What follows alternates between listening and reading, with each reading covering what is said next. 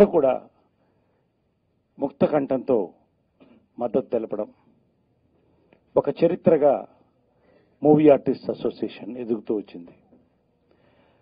అప్పుడప్పుడు ఆలోచన విధానాల్లో తేడా ఉన్నప్పుడు ఎన్నికలు అనివార్యం అవుతాయి. ఎవరు తప్పు ఎవరు ఒప్పు అని కాకుండా ఇప్పుడు మనకి ఎనిమిది వందల పై సభ్యులు ఉన్నారు అందరికి కూడా ఒక హక్కు ఇచ్చి మీరు మమ్మల్ని ఎవరు ఉంటే బాగుంటుంది అని నిర్ణయించుకోండి అని అపీల్ ఇవ్వడం అనేది ప్రజాస్వామ్యంలో ఒక భాగం. ఇది వేరేలాగా అనుకోవద్దు. గతసారి రాజేంద్ర ప్రసాద్ టర్మ్ అయినప్పుడు కూడా రెండు ప్యానెల్స్ కలిసి ఒక ప్యానెలే అద్భుతంగా పనిచేశాం. వాస్తవానికి గత టర్మ్. శివాజీ రాజానా నేనా ఎవరు ఉండాలనుకున్నప్పుడు నేనే అతని మనసులో ఉన్నటువంటి కోరికని అర్థం చేసుకుని నాకంటే ఎక్స్పీరియన్స్లో జూనియర్ అయినప్పటికీ నైన్టీన్ ఎయిటీ టూలోనే హీరో అయినాను సెవెంటీ టూలో చైల్డ్ ఆర్టిస్ట్గా వచ్చాను. అవన్నీ ఆలోచించకుండా మా బాగుండాలి అనే ఒక ఉద్దేశంతో నువ్వే ఉండని నేను చెప్పడం జరిగింది. సిల్వర్ జూబ్లీ టర్మ్ కూడా గడిచింది. పక్కన పెడితే ఇప్పుడు విషయానికి వస్తే డెబ్బై రెండులో నేను చైల్డ్ ఆర్టిస్ట్గా వచ్చాను. సినీ ఇండస్ట్రీలో పుట్టి పెరిగాను. తెలుగు సినీ ఆర్టిస్ట్ అసోసియేషన్ మా ఇంట్లో ఉండేది మెడ్రాస్లో మాలో ఇరవై ఐదు సంవత్సరాల్లో దాదాపు ఇరవై రెండు సంవత్సరాలు సాధారణ సభ్యుడిగానే పనిచేస్తూ వచ్చాను. పదవులు తీసుకోమన్నా పదవులు అక్కర్లేదండి. బాధ్యతలు ఏమైనా ఉంటే చెప్పండి నేను చేస్తాను. ఎప్పుడు మీతో ఉంటాననే నేను పనిచేస్తూ వచ్చాను. గత ముందు టర్ము స్వర్గీయులు దాసరి నారాయణరావు గారు నీ యొక్క సేవలు మాకు అవసరం. ఒక మహిళ పోటీ చేస్తుంది జయసుధ. నువ్వు ఉండాలి అన్నప్పుడు జాయింట్ సెక్రటరీగా రావడం జరిగింది. ఆ తర్వాత నేను ఇచ్చిన పథకాల ప్రకారం ఎగ్జిక్యూటివ్ కొంత ఆలోచించి నరేష్ గారు ఉంటే బాగుంటుంది అని వెల్ఫేర్ కమిటీ చైర్మన్ గారిని నిర్ణయించడం. వెల్ఫేర్ కమిటీని యాక్టివేట్ చేస్తాను దీని ద్వారా మాని ముందుకు తీసుకెళ్తాను. మాలో వెల్ఫేర్ స్కీమ్స్ కానీ ఇతర సమస్యలు పరిష్కారానికి ఒక కమిటీ యాక్టివేట్ అవసర అవసరం ఉందని మీరు టీవీలో చెక్ చేసుకోవచ్చు. నేను అనౌన్స్ చేశాను. వెల్ఫేర్ కమిటీ ఫామ్ చేస్తామని. వెల్ఫేర్ కమిటీ ఫామ్ చేసిన తర్వాత మొట్టమొదటిసారిగా మా అంధకారంలో ఉండేది. అంటే ఎంతమంది సభ్యులకి పెన్షన్లు అవసరం? ఎవరికి గృహవసతి కావాలి? ఎంతమందికి అవకా అవకాశాలు కావాలి? ఇది ఎవరికి తెలియదు ఎవరికి తెలియ ఎవరికి ఇస్తే ఎవరు తప్పవుతుందో అన్నటువంటి ఆలోచనలో చాలామందికి ఇవ్వకుండానే ఆగిపోయింది. అయితే వెల్ఫేర్ కమిటీ ఫామ్ చేసిన తర్వాత ఐఏఎస్ ఆఫీసర్ల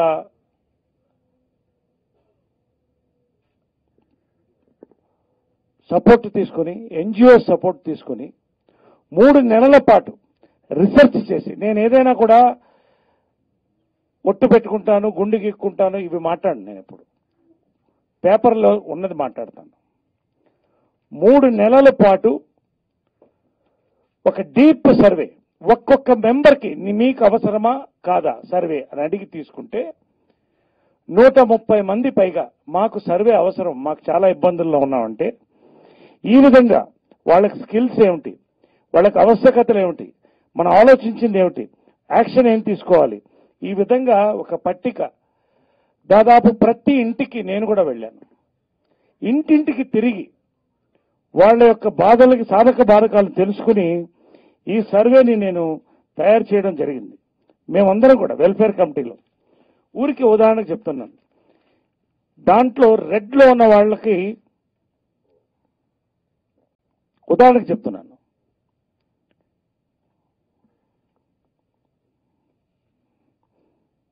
శోభ గారు ఉన్నారు నాకు పెన్షన్ కావాలి హెల్త్ కార్డ్ కావాలి పిల్లలకి ఎడ్యుకేషన్ కావాలి. ఇలాగా నన్ను డైరెక్ట్గా అడగడం జరిగింది. వాళ్ళు ఉన్నది సింగిల్ బెడ్రూమ్లో ఉంటున్నారు. Divorced son married two dependents two daughters. వీళ్ళకి ఆవశ్యకత ఏంటి? Pension health card education support. ఇంత సైంటిఫిక్గా ఈ సర్వే జరపడం అనేది గర్వంగా చెప్పవచ్చు. మూవీ ఆర్టిస్ట్ అసోసియేషన్లో మాత్రమే ఎంటైర్ భారతదేశంలో బాలీవుడ్ కాలీవుడ్ ఎక్కడ జరగలేదు.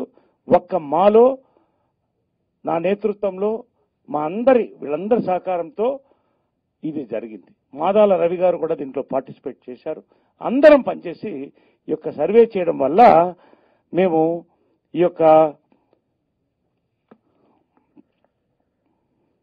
స్కీములు మేము ఇవ్వడం జరిగింది. ప్రధానంగా where is that brochure I want the brochure artist brochure అవకాశాలు కావాలి అని అడిగిన వాళ్ళు ఎక్కువ ఉన్నారు. సినీ నటులకి మేకప్ వేసుకోకపోతే ప్రాణం కోల్పోతారు వాళ్ళు. నేను మా ఆఫీస్లో ఉంటుంది. మా ఆఫీస్లో ఉంటుంది. నేను వెంటనే మీ ఎవరెవరికి కావాలో మీ ఫోటో కార్డ్స్ ఇవ్వండి. మీ అందరికి కూడా మేము అవకాశాలు కల్పిస్తామని చెప్పి జాబ్ కమిటీ అనేసి గౌతమ్ రాజు గారు వీళ్ళందరూ కూడా దీంట్లో గట్టిగా తిరిగి నా ప్రతి షూటింగ్లో కూడా వీళ్ళందరినీ ఆహ్వానించి వేషాలు ఇప్పించితే నలభై మంది దాకా అన్నపూర్ణ గారు కూడా చాలా బిజీ అయ్యారు. ఎంతోమంది నాకు ఫోన్ చేసి థ్యాంక్స్ చెప్పారు. మాకు అవకాశాలు కలిగినాయి. చాలా థ్యాంక్స్ దాసరి గారి చేతుల మీద విడుదల చేశాం. నేను ఒక మాట ఎవరి గురించి ఉద్దేశం అనలేదు కానీ ఇంకెవరైనా ఉన్నత పదవుల్లో ఉన్నవాళ్ళు ఈ బ్రోషర్ని నేను విడుదల చేసి తయారు చేసి లక్ష్మీకాంతరావు వీళ్ళందరి సహకారంతో పేరు పేరున వీళ్ళందరినీ తీసుకొని నలభై మందికి నా షూటింగ్లో త్రివిక్రమ్ గారి షూటింగ్తో సహా నేను అవకాశాలు ఇప్పించడం జరిగింది. అందరు కూడా ధన్యవాదాలు తెలిపారు. నేను ఎవరిని ఉద్దేశించి అంటలే కానీ ఇంకెవరైనా ఉన్నత పదవుల్లో ఉన్నవాళ్ళు బిజీ షూటింగ్లో ఉన్నవాళ్ళు షూటింగ్లకు పిలిచి రండి మా దగ్గరికి కలవండి అన్నవాళ్ళు ఉన్నారా అని అడుగుతున్నాను. నేను దాని గురించి వేరే ఎక్కువ మాట్లాడదలుచుకోలేదు ఇక్కడ. అదేవిధంగా చాలామందికి ఆర్టిస్టులకి వాహనాలు కరువైతే బస్సుల్లో ఆటోల్లో వెళితే ఎన్నో ప్రశ్నలు అడుగుతారు ఇబ్బంది కలుగుతుంది అన్న ఒక ఆలోచనతో దాదాపు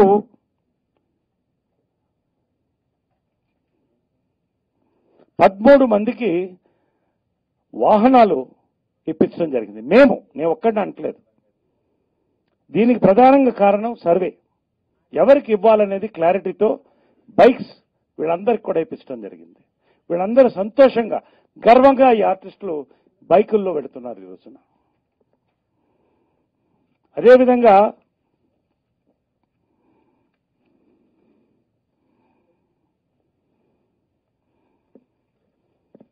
అటల్ బీమా యోజన. మంత్రి ప్రధానమంత్రి సురక్షణ బీమా యోజన ద్వారా పన్నెండు మంది పన్నెండు రూపాయలు కడితే నెలకి ఎవరు మరణించిన మరణించిన అనంతరం మూడు లక్షల రూపాయలు two lakhs two lakh rupees రెండు లక్షల రూపాయలు ఫార్టీ ఎయిట్ అవర్స్ లోపల మేము ఇవ్వడం జరిగింది. ఇలాగా ఇప్పటికీ నలుగురికి ఇచ్చాం మేము. నలుగురికి కుటుంబాలు చనిపోయిన వెంటనే కూడా ఎవరన్నా చనిపోతే కుటుంబానికి వెంటనే మా నుంచి ఇచ్చి తర్వాత మేము తీసుకుని రెండు లక్షల రూపాయలు ఇచ్చాం. ఇది నా ఎన్జిఓల ద్వారా గవర్నమెంట్ నుంచి నేను డౌన్లోడ్ చేసుకున్నటువంటి స్కీమ్ ఇది. ఇది ప్రతి ఒక్క మెంబర్కి వర్తిస్తుంది. ఏ టు జెడ్ ప్రతి మెంబర్కి వర్తిస్తుంది. మిత్రులారా లోన్స్ కావాలంటే లోన్స్. ఇద్దరు మా పిల్లలకి ఎడ్యుకేషన్కి అడిగితే దానికి కూడా ఇద్దరికి మేము ఎడ్యుకేషన్ కూడా ఇవ్వడం జరిగింది. లోన్ అప్లై చేసుకుంటే ఆల్రెడీ లోన్ స్టేటస్ కూడా ఇక్కడ ఉంది. ఇవన్నీ కూడా వెల్ఫేర్ కమిటీ నేను హెడ్ చేసినటువంటి వెల్ఫేర్ కమిటీ చేసినటువంటి కార్యక్రమాలు.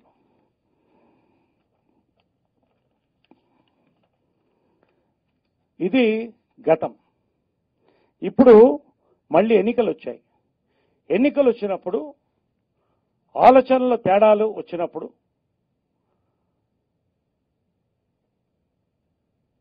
రాజేంద్ర ప్రసాద్ టర్మ్ పూర్తయినప్పుడు మిత్రుడు శివాజీ రాజా పరచూరి గోపాలకృష్ణ గారు పరచూరి వెంకటేశ్వర గారి సమక్షంలో నేనుండగా అందరి సమక్షంలో రాజేంద్ర ప్రసాద్ మనం కుర్చీ రాజకీయం మాలో పెట్టుకోవద్దు. అందరూ ఒక్కొక్క టర్మ్ గౌరవంగా చేసి ఇంకొకరికి అవకాశం ఇద్దాం. ఒక ఫ్రెష్ కమిటీ వచ్చినప్పుడు కొత్త ఆలోచనలు వస్తాయన్నప్పుడు నా మిత్రుడు రాజేంద్ర ప్రసాద్ చాలా హుందాగా గౌరవంగా తప్పుకున్నాడు. హ్యాట్స్ ఆఫ్ మరి నువ్వు ఉంటావా అని అడిగినప్పుడు నేనే చెప్పాను. శివాజీ రాజా నువ్వుండు. నువ్వుండు నువ్వు చెయ్యి. సిల్వర్ జూబ్లీ నువ్వు చేస్తానంటున్నావు కదా నువ్వు చెయ్యి అని నేను చెప్పడం జరిగింది. డైరెక్ట్గా మనం జనరల్ బాడీలో ఎగ్జిక్యూటివ్ కూడా అనౌన్స్ చేయడం జరిగింది. ఆయన ఏమన్నాడు? నా తర్వాత నరేష్ ఖచ్చితంగా చేయాలన్నాడు. నేను ఎప్పుడు కూడా ఇప్పటికి కూడా దానికోసం ఇక్కడికి రాలేదు. నువ్వే చేయని కూడా నేను చెప్పడం జరిగింది. కానీ అందరిలో కొంత అసంతృప్తి కొన్ని కారణాల వల్ల ఉంది. దాన్ని మేము ఫోకస్ చేయదలుచుకోలేదు. గతం గత. ఏవి మంచి ఎంత జరిగిందో కానీ చెడు జరగలేదు నేను చెప్తున్నా. జరిగిపోయింది జరిగిపోయింది. పెద్దలు కూర్చున్నారు సర్దుబాటు చేశారు. ఒక కొత్త టర్మ్ రావాలని అందరూ కూడా కొత్త కమిటీ రావాలని కోరుకున్నప్పుడు అందరూ నన్ను అడగడం జరిగింది. మీరు ఉండండి మీ అనుభవం. ఇవాళ మా అమ్మ విజయన్మల గారు ప్రతి నెల పదిహేను వేల రూపాయలు పదిహేను వేల రూపాయలు పెన్షన్లకు ఇస్తుంది ప్రతి బర్త్డేకి ఆమె వయసుకు తగిన వేలు ఇస్తుంది ఐదు లక్షల రూపాయలు డొనేషన్ ఇచ్చింది గత టర్మ్లో. ఎందుకోసం? మా బాగుండాలని. యావరేజ్గా మా కుటుంబం నుంచి రెండు లక్షల యాభై వేల రూపాయలు ప్రతి సంవత్సరం కూడా మేము మాకి ఏమి ఆశించకుండా ఇచ్చి పనిచేస్తున్నాం మేము. కాబట్టి మీలాంటి వాళ్ళు ఉంటే బాగుంటుందండి. మీరు ఇంత ఆలోచనలు తీసుకొచ్చారని చాలామంది నన్ను అడగడం వీళ్ళందరూ కూడా నా వెంట వచ్చి మీరు చేయాలనడం అనేది నాకు కూడా నేను రాజీనామా చేద్దాం అనుకున్నాను. కొన్ని మనస్సు మనసుకు చాలా కష్టం వేసినటువంటి సంఘటనలు జరిగినాయి. అవన్నీ తలుచుకుంటే నాకు కళ్ళల్లో ఏడుపు వస్తుంది నాకు నిజంగా బాధ వస్తుంది కానీ అవన్నీ మర్చిపోయి మా కోసం మా ఆఫీస్ అయినా ఊడుస్తాం. మంచి జరగాలి. సిల్వర్ జూబ్లీ టర్మ్ బాగా జరగాలి. అనే ఆలోచనతో సరే నేను అంగీకరించడం జరిగింది. కాబట్టి ఈ యొక్క టర్ము మేము ఒక మంచి కమిటీని తీసుకురావాలి. మేము ఎవరి మీద అంటాం లేదు. నేను మళ్ళీ చెప్తున్నాను. నేను ఒట్లేయను ఒక్క టర్మ్ అంటే ఒక్క టర్మే. ఒకే ఒక్క టర్మ్. నేను వేసినటువంటి విత్తనాలు ఇప్పుడు చెట్లుగా మొలుస్తున్నాయి. అవి ఎదగాలంటే మంచి కమిటీ కావాలి. పండ్లు ఎక్కువ మందికి అందాలంటే ఒక మంచి వర్కింగ్ కమిటీ రావాలి. ఈ ఉద్దేశంతోనే నేను కమిటీ అనుకున్న వెంటనే ఫస్ట్ సంప్రదించింది నా బాల్య మిత్రులు ఇద్దరు జీవిత రాజశేఖర్. జీవిత నా చెల్లెలు సమానరాలు. రాజశేఖర్ని అడిగి రాజశేఖర్ తనకి మంచి ఆలోచన ఉంది పనిచేసేటువంటి కెపాసిటీ ఉంది లీడర్షిప్ ఉంది ఆమెని మాకు అందిస్తే నేను జనరల్ సెక్రటరీగా తీసుకుంటాను. నీ అనుమతి ఉంటే అని అడిగితే మేము మా కుటుంబం ఎప్పుడు ఎవరు అడిగినా అన్నం పెడతాం ఎప్పుడు మేము ఉంటాం. అలాంటిది నువ్వు అడుగుతున్నప్పుడు నా సోదరుడిగా ఖచ్చితంగా నా భార్యకు నేను మాట్లాడతానని చెప్పి జీవితాన్ని జనరల్ సెక్రటరీగా మాకు అందించడం జరిగింది. ధన్యవాదాలు రాజశేఖర్. ఇది అయిన వెంటనే నాకు ఇంకో ఆలోచన ఏమొచ్చిందంటే దంపతులు ఇద్దరు నేను కృష్ణా విజయమ్మ గారిని చూశాను. తర్వాత వీళ్ళని చూశాను. ఆ అన్యోన్యత కలిసి పనిచేయడం ఏదైనా కూడా కలిసి నిర్ణయాలు. ఇద్దరు వేరే వేరే ఆర్టిస్టులు కానీ దంపతులు. నువ్వు ఎగ్జిక్యూటివ్ వైస్ ప్రెసిడెంట్గా రా ఆ పదవికి గౌ- ఆ పోస్టుకి గౌరవం ఉంటుంది. నువ్వు రావాలి అంటే చాలా రోజులు ఆలోచించాడు రాజశేఖర్. కొంచెం టైం తీసుకుంటాను కొంచెం టైం ఇవ్వంటే మేమందరం కూడా కలిసి నేను ప్రెసిడెంట్గా ఉంటా నువ్వు ఎగ్జిక్యూటివ్ వైస్ ప్రెసిడెంట్గా జనరల్ సెక్రటరీ జీవిత వస్తే ఒక పరిపూర్ణత వస్తుంది కమిటీకి ఒక నమ్మకం కలుగుతుంది. పనిచేస్తామన్నటువంటి నమ్మకాన్ని మనం కలిగించగలుగుతాం. ఒక సిన్సియర్ లీడర్షిప్ ఉంటుంది అనేటువంటి ఆలోచనతో మేము ముగ్గురం కూడా ఈ రోజున బరిలోకి దిగాం ఎన్నికల్లోకి. దాంతో పాటుగా వైస్ ప్రెసిడెంట్స్ హర్నాథ్ బాబు అదేవిధంగా Manik serial number two Harnath Babu Manik వీళ్ళిద్దరిని కూడా వైస్ ప్రెసిడెంట్గా రమ్మన్నాం. ఎందుకంటే వాళ్ళు సినిమాలో ఉన్నారు మాలో ఎక్కువ కాలం ఉన్నారు అనుభవజ్ఞులు. కాబట్టి వాళ్ళిద్దరిని కూడా మేము రమ్మడం జరిగింది. గౌతమ్ రాజు ఎప్పుడు కూడా సేవా కార్యక్రమాలకు ముందుంటాడు. ఒకళ్ళకి ఏమన్నా కాలేజీలో సీటు కావాలన్నా ఏమన్నా ఒక సమస్య ఉన్నా గౌతమ్ రాజు పొందుకుంటాడు. కాబట్టి ఒక సీనియర్ నటుడుగా గౌతమ్ రాజుని ఒక పనివంతుడిగా మేము తీసుకోవడం జరిగింది. శివ బాలాజీ శివ బాలాజీ మరొక జాయింట్ సెక్రటరీగా మేము తీసుకోవడం జరిగింది. శివ బాలాజీ సేవా తత్పరిత తత్పరితం ఉంది అతనికి. అతనికి చేయాలన్నటువంటి ఆశ ఉంది వయసు ఉంది ఆలోచనలు ఉన్నాయి. యూత్ఫుల్ ఒక థింకింగ్ ఉంది. ఒక మంచి చేయాలన్నటువంటి రాజకీయానికి అతీతంగా ఒక మంచి చేయాలన్నటువంటి ఆలోచనతో శివబాలాజీ నేను అడగిన వెంటనే ఒప్పుకున్నాడు. Thanks Sivabalaji. Thank you very much కాబట్టి ఇది ఒక మంచి టీమ్గా మేము తీసుకొని దీంతో పాటుగా ప్రత్యేకంగా కోశాధికారి అనేది చాలా కీలకమైనటువంటి పోస్ట్ అది కూడా. It is a signatory post మొత్తం ఫైనాన్షియల్ కంట్రోల్ పోస్ట్. నమ్మకం కొంతమంది మూడు నాలుగు టర్మ్లు కూడా చేశారు కాబట్టి ఒక ఫ్రెష్ ఫేస్ కావాలి. దానికి ఫైనాన్షియల్ ఆస్పెక్ట్స్లో అనుభవం ఉండాలి. కోటా శంకర్రావు గారు ఎస్బీఐలో ఆఫీసర్గా కూడా పనిచేశారు ఆయన. కాబట్టి కోటా శంకర్రావు లాంటి వ్యక్తి వస్తే ఖచ్చితంగా ఆ పోస్టుకి న్యాయం జరుగుతుంది అన్నటువంటి ఆలోచనలో వారిని కూడా తీసుకోవడం జరిగింది.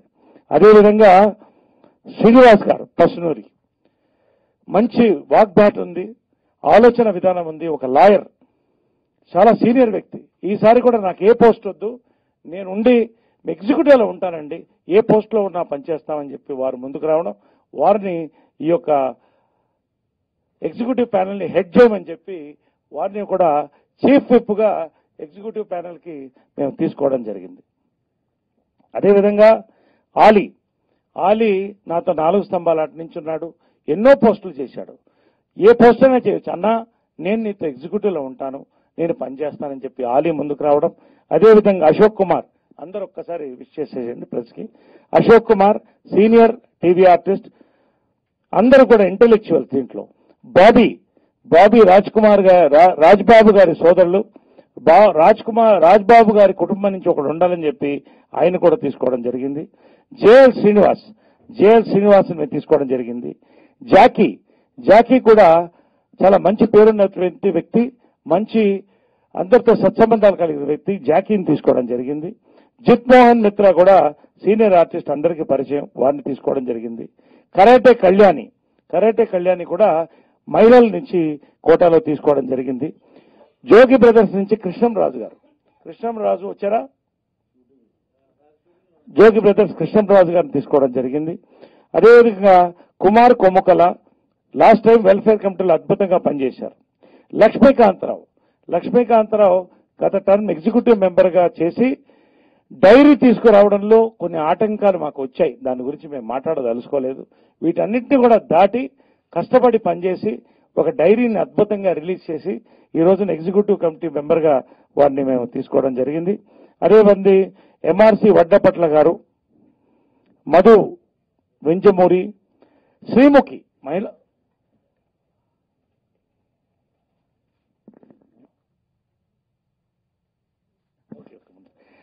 ఇది అనౌన్స్మెంట్ పేసిಲ್ಲ ఎంఆర్సీ వడ్లపట్ల గారు మధు వింజమూరి శ్రీముఖి మహిళా కోటాలో తీసుకోవడం జరిగింది. రాజశ్రీ రెడ్డి ఆమె కూడా సీనియర్ నటి ఆమె కూడా ఎగ్జిక్యూటివ్లో. సత్యం యాబి గారు చాలామంది గురువులు వారిని. స్వప్న మాధురి దండే మన శివబాలాజీ గారి మిస్సెస్ మంచి ఆర్టిస్టు ఆమెను తీసుకోవడం జరిగింది. మధుమ స్వప్న మధుమిత మధుమిత శివబాలాజీ. మధుమిత శివబాలాజీ గారిని తీసుకోవడం జరిగింది. సో వీరందరినీ ఈ యొక్క ప్యానెల్లో తీసుకున్నాం. ఈ ప్యానెల్తో మేము కంటెస్ట్లోకి దిగుతున్నాం. నేను కొన్ని విషయాలు రాజశేఖర్ గారు మాట్లాడిన తర్వాత మనం మేనిఫెస్టోని రిలీజ్ చేసి తర్వాత వాళ్ళు వెళ్ళిపోతారు. మేనిఫెస్టోని మీకు కూడా అందజేస్తాం. ఒక అద్భుతమైన మేనిఫెస్టోతో వస్తున్నాం మేము. మేము ఈ యొక్క కమిటీతో మేము ఒకటే చెప్తున్నాం. మా అనేది it is a service organization prestigious organization of two states దీన్ని మేము ఒక బిజినెస్ హౌస్గానో పొలిటికల్ పార్టీనుగానో మేము నడపదలుచుకోలేదు. కాబట్టి దీన్ని మా యొక్క ప్రత్యేకతను మా యొక్క ప్రతిష్టను నిలపడానికి మేము ప్రయత్నిస్తాం.